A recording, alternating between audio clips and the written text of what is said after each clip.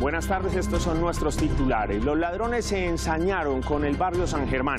Habitantes del sector de la ciudad de la Tierra Firme aseguran que robos como este se producen casi a diario en el sector. 237 semáforos han sido vandalizados en lo que va corrido de 2021 en Medellín, lo que tiene desesperados a los conductores. Detrás de la mayoría de los daños están las bandas dedicadas al robo de cables. Alrededor de 1.600 personas participaron del encuentro Medellín y sus aliados que se desarrolló en Plaza Mayor. Durante los dos días del encuentro se concretaron 200 oportunidades de inversión y cooperación.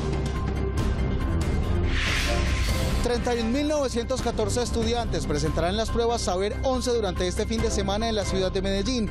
En minutos les contamos los detalles de los protocolos de bioseguridad y cómo avanza la jornada.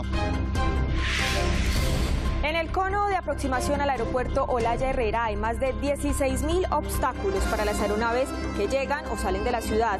Esta es una de las razones por las cuales es importante pensar en el traslado de las operaciones aéreas al José María Córdoba.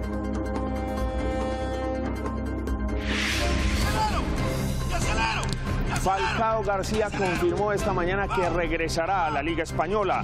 El Tigre se encuentra en Paraguay con todo el grupo de la Selección Colombia que mañana disputará un nuevo partido por las eliminatorias al Mundial de Qatar. Y en las noticias de la cultura y el entretenimiento continúa la Feria del Diseño, la plataforma de exhibición y negocios de este gremio más importante del país. Estamos en directo.